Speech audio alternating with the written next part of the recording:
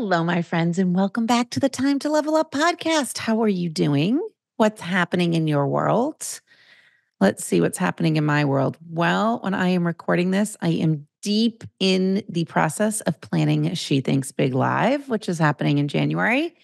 So when you're listening to this episode, I hope you've you've either registered for this, you've been to She Thinks Big Live, you can get all the details at AndreaLiebross.com forward slash live if it hasn't already happened. And probably I will post some pictures at that same web address if it, if it has happened. And in planning for that, I have been thinking about what is big thinking. I've been thinking about that for a while now, haven't I? And it has occurred to me that lots of people are not able to access big thinking because they are stuck in their past. So, a couple episodes ago, we talked about what is big thinking.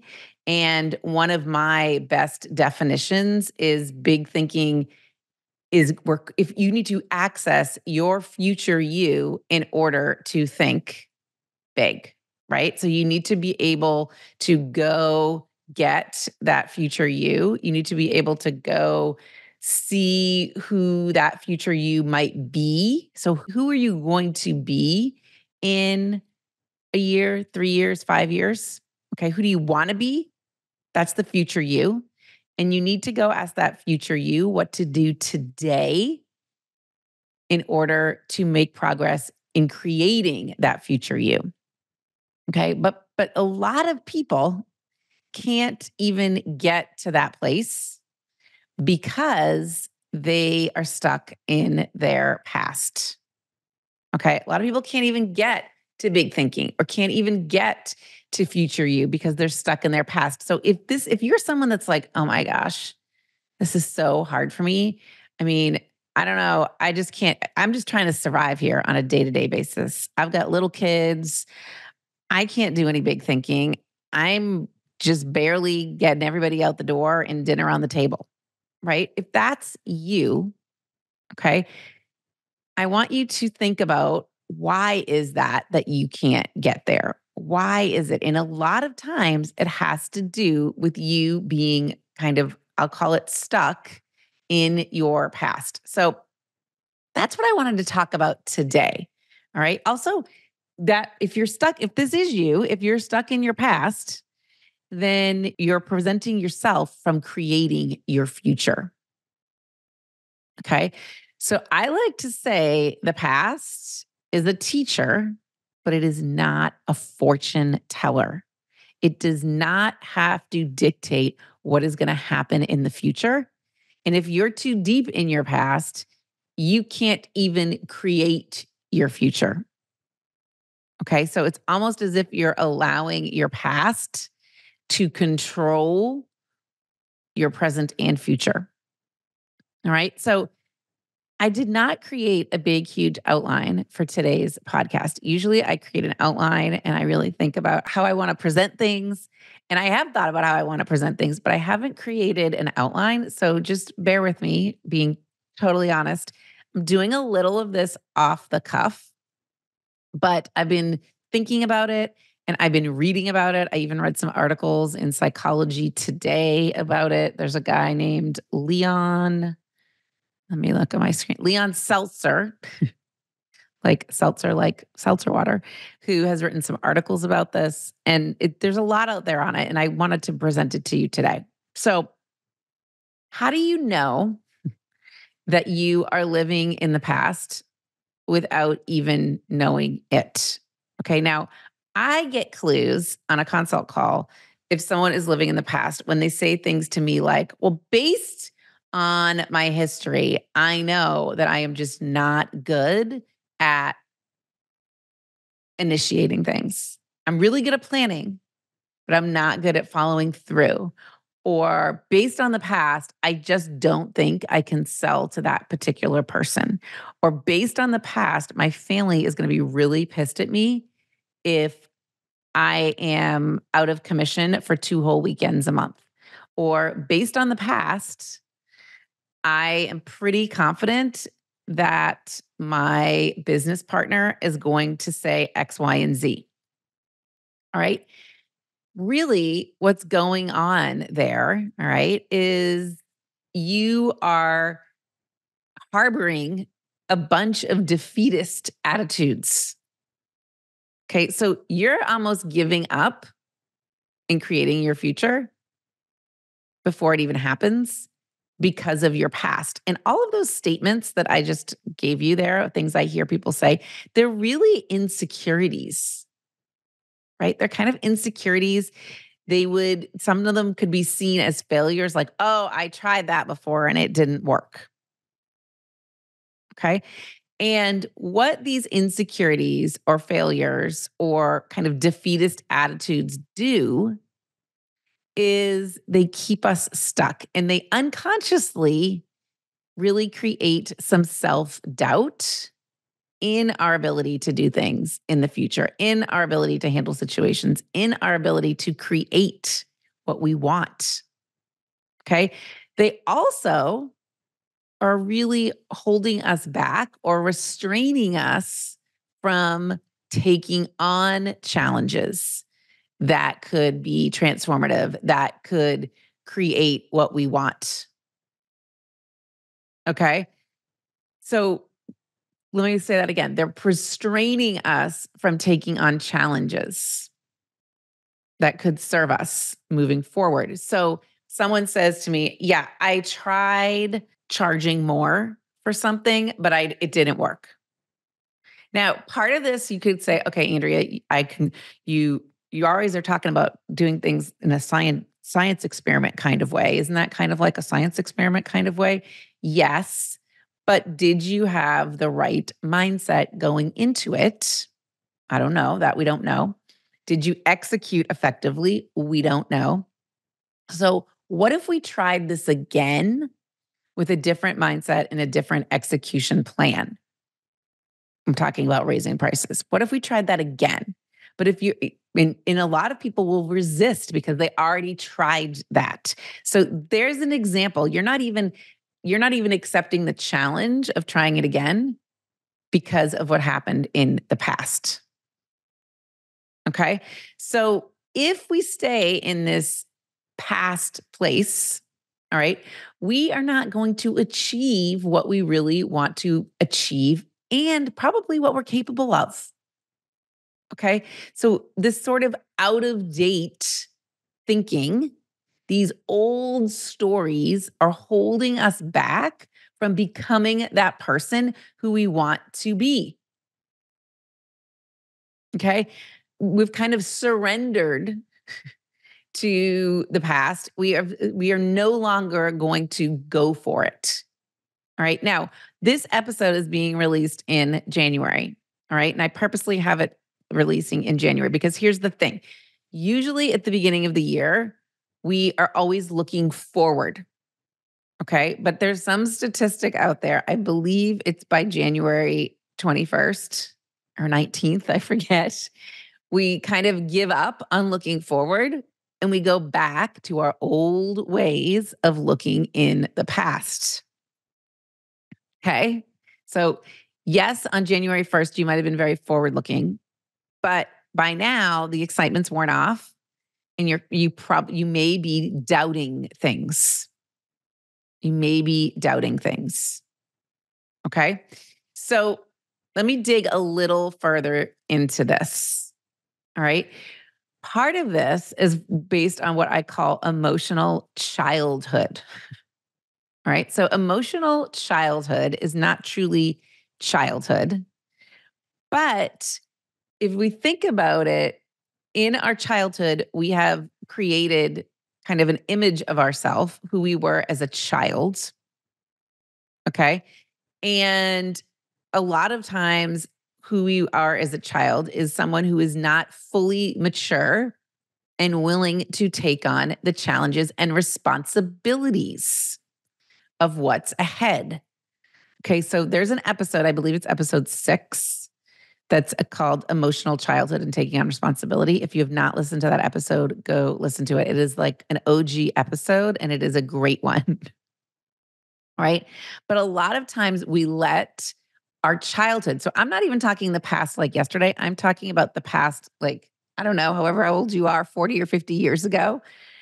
You're letting events from the way, way, way past, from your childhood, impact where you're going in the future. All right. Now, I will tell you something. When I started writing my book in the very beginning, one of my very first drafts had a lot in it about my childhood and about how I perceive my parents treated me versus treated my brother. Um, this is all just my own perception, by the way. None of this probably is necessarily quote unquote truth or fact, but I kind of perceived it as sometimes they would think of me as just a girl and he, him as like the big amazing boy. Now, I don't this if mom and dad if you're listening to this, which you never listen to this, but no offense. Okay, that was just my perception. All right? And I truly believe that that oh Andrea is just a girl kind of thing impacted me in early adulthood. I don't think it impacts me as much now, but I think it impacted me in early adulthood. So I didn't accept some of the challenges that perhaps were were put in my path and I kind of just resigned myself to the job I had or the life that I was going to live. All right? So I don't know if you've experienced any of that, but you can see how that past was impacting my future. Okay. So, really, what that emotional childhood is, is about is your self image. So, I didn't v- envision myself when I think back my my past, my vision of myself was not this woman that was going to go out and conquer the world and become CEO of her own company. Okay? So, these this emotional childhood or this past is really acquired less from actual behaviors that happened and more from how others responded to me or I perceived their response. Okay. My core sense of self in the way back in the day was molded really on how I interpreted consequences of words and actions.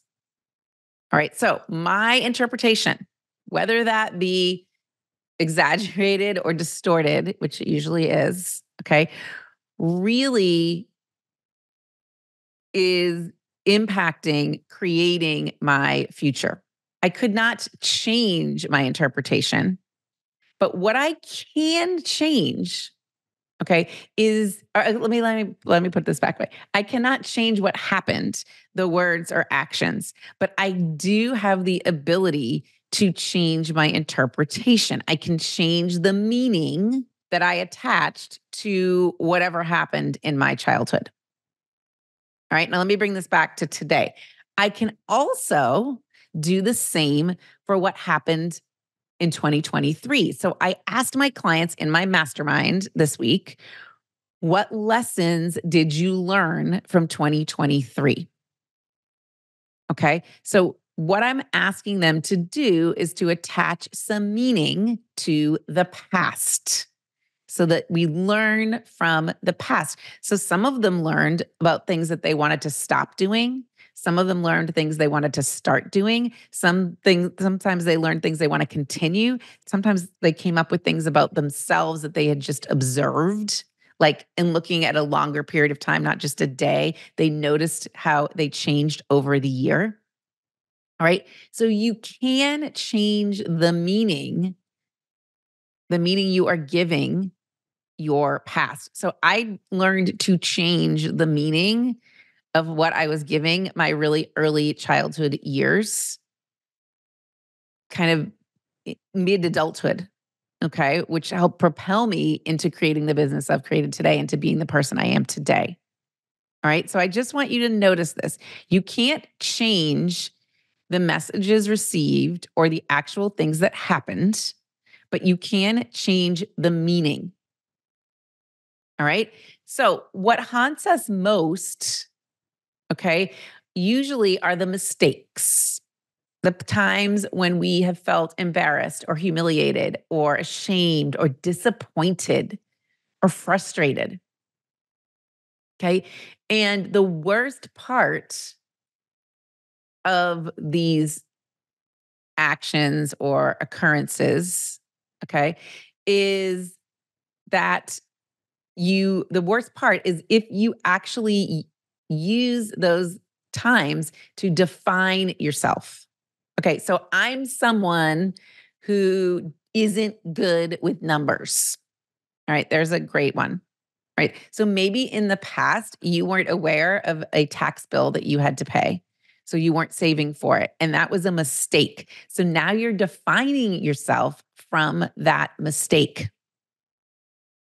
Okay. Or it really wasn't even a mistake, it was something you didn't know and you felt like you should know it. Someone wrote to me the other day and they said, I feel like a little kid sitting at a table full of adults when people are talking about money. How do I change that? How do I change that? So she can change what sitting at that table means. Like she could say, Oh my gosh, I'm so glad I'm here. I'm ready to learn. Like, teach me everything. Okay. She doesn't have to feel like a little kid. Like she has, she's not good enough. All right. But many of these negativity kinds of things, negative feelings we have about ourselves,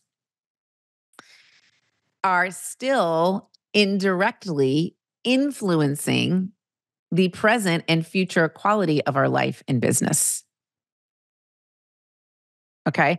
In fact, the biggest failure or mistake that you can make is sticking with the past in the sense that, that in a non helpful or serving way or useful way, right? I think in that Dr. or Leon Seltzer article, he had a line where it said something like, These faulty, short sighted conclusions probably exemplify our single biggest mistake of all. So I thought that was super interesting. Right? So ask yourself there are tons of things you wish you had or hadn't done. Okay. And, or were done to you. All right. And you are being, are you being burdened by them? Are you being burdened by them? Are they creating limiting beliefs like, I'm not good enough. I can't compete. I don't measure up. I'm not smart enough. I don't have the confidence. I don't really deserve to succeed. Okay. I'm lazy. I hear that from sometimes from prospective clients. I'm just kind of lazy and I need someone to push me. Or I hear, I don't really know what to contribute to the conversation. I've got nothing to contribute. I don't fit in. I can't make decisions to save the life for me, right? I am not really good at expressing feelings. It's not safe for me to have these feelings. I am need to be responsible for everything. Or I don't have the power to make that decision. So those are all kind of negative beliefs that you could be holding based on things that have happened in the past and they are sabotaging you from accessing they are sabotaging your access to future you. Because at this gut level, you are experiencing them as true right? Like just like I could go back to my childhood and, you know, they're girls are girls, but boys are amazing kind of thinking. Okay. If I really stick there and experience that as true, then I would not be creating the business I'm creating right now. All right. So I want you to assess what are you doing in that category? Now, how do we bring ourselves up to date? How do we get to that future you? All right. Number one, we kind of already talked about it. You can change the meaning. All right. There's nothing wrong with changing the meaning. All right. There's nothing wrong with that. And really, what does that mean? That means just changing your thought. That is it. That is it. And we've talked a lot on this podcast about changing thoughts. And a lot of what coaching does is help you change thoughts. So I applaud the people who come to me and say, I'm just not good at this, but I'm tired of being not good at this.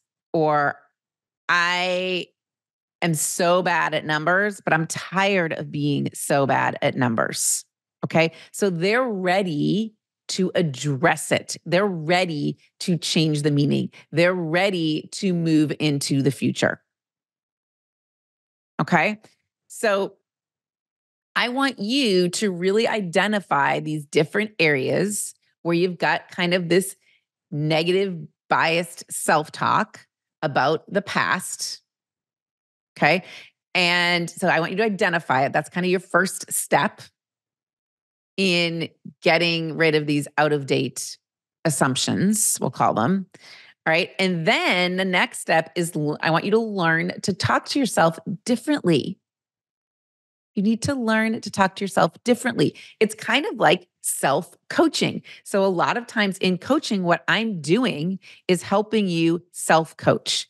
So, okay, here's a great story. And I might have chatted about this on the podcast yesterday, but I did have this Instagram conversation with someone who I don't know who was reading my book. And I asked her what she was working on in 2024. And she told me how she really just needs to show up for herself and that she's been treating this business as a jobby. And I kept kind of asking her questions. And I and, I just uh, innocently asked her, I was like, hey, have you considered coming to She Thinks Big Live? And she said, Yeah, I've been thinking about it. And so then I asked her, why would it be a great idea? And she started to talk herself into coming. It would be a great idea because I would get some guidance for 2024. It would be a great idea because I'd be in a room full of like minded women. It would be a great idea because it would help me take my business more seriously. So that is sort of a, form, a way of her self coaching and kind of self talking her her self talking herself into her future you into who she wants to be. So that Leon Seltzer guy, he is this, he kind of wrote down, you, you might consider this awareness. I mean, he wrote it out as a dash where, the word W H E R E dash ness. it's really of it's vital that you understand where you have come from and where you want to go. Right? Because you can't get to the future. You can't get past your past until you revisit it and change the meaning around things. Okay. So, one other thing that I want to share with you is there's lots of ways to change this awareness changing the meaning, self talk.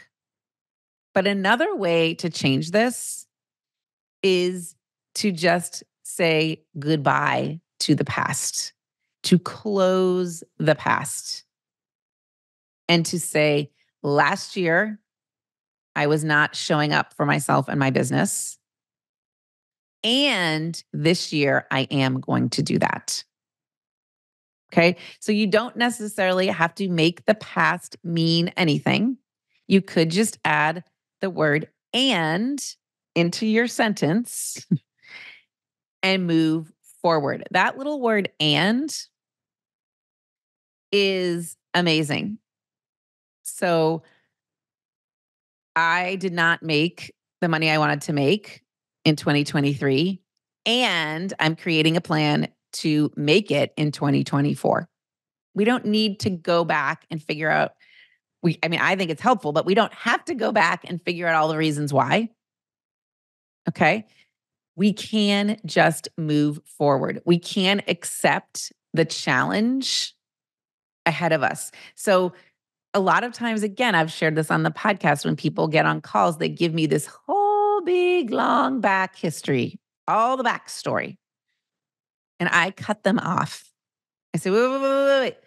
What are we doing today? Or what's the problem right now? I don't need the backstory. So you could tell me all, all, all that. And how are we moving forward? Okay. So if you don't need to give me that past history because it's the past, and maybe you learned something from it, I hope you did. Even if you didn't, you still can move forward. You still can move forward. Okay, my friends, that is what I have for you today. And if I do say so myself, this sort of unscripted podcast, I think went pretty good. Had a couple ideas written down, but not nearly the detail I usually do because I just wanted to experiment. Because I've learned that sometimes I get too detailed in my podcast prep. That is the past. and it, I think of it sometimes as a burden, the podcast prep part as a burden. And I've assessed that and I've learned from it. I'm going to use that as a teacher. Um, and moving forward, I can try different ways to record these broadcasts, but something must be going well because my listenership keeps going up. And I hear from you, my listeners, that these podcasts are helpful. So, in that regard, would you do two things for me? Actually, would you do three things? Would you do number one, would you share this podcast with a friend? Would you share it with a friend? Who is someone that you know that is stuck in their past? Share it with them. Tell them that they can change this. Tell them that the past is a teacher, but not a fortune teller. Okay. Tell them that. So share this with a friend. Number two, message me. Message me. I've been hanging out mostly on Instagram these days, got to be honest. DM me on Instagram, andrea.liebross.coaching. Tell me what you got from this podcast. Tell me what else you'd like to hear and learn about or you can send us an email support at andrealiebross.com. I want to hear from you. I want to hear from you, my listeners, this year. That is one of my big objectives. Okay. And the third thing I'm just going to throw in there if you haven't written a review for the podcast ever, I would love that. Go on Apple, iTunes, and write a review. I mean, I would give you big kisses because those reviews are hard to get because people don't take the time but that would be a real gift to me if you could write a review. All right, my friends. Check out She Thinks Big Live. If you are listening to this before January 19th, grab your ticket, shethinksbiglive.com. If January 19th is already passed, go check out what we did at andrealiebross.com forward slash live. Have a great rest of your week. Enjoy it. And remember, this is the time to level up. No, uh, no better time. There's no better time. Reach out to me. Let's set up a call. I want to help you do that in the coming year. Talk to you soon.